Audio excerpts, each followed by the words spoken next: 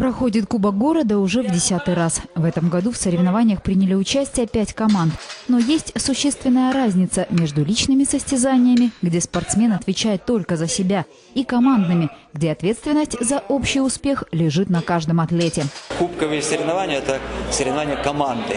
Команда, вся команда должна настроиться, напрячься, вот, как единый организм, выступить вот, и победить. Абсолютный победитель весовой категории 66 килограммов Ярослав Блажко значительно превысил показатели своих соперников. Поднятый вес в приседе – 200 килограммов. Ближайший соперник отстал на 70. Ярослав – один из самых перспективных спортсменов нашего города. Пауэрлифтинг – это потому что спорт чисто для мужчин, потому что развивает силу.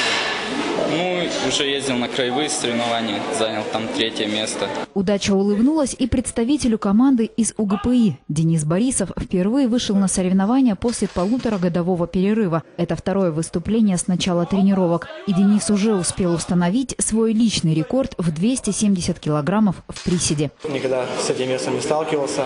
На тренировках даже не поднимал этот вес. Вот. Все, проходку делал только на соревнованиях. В этом году переходящий кубок остался у прошлогодних его обладателей. Команды из УГПИ. Парни из железнодорожного института стали вторыми. Третье место завоевали ребята из ДЮСШ-3. Это первенство стало своего рода подготовкой для уссурийских атлетов перед краевыми соревнованиями, которые пройдут 5-7 мая в Арсеньеве.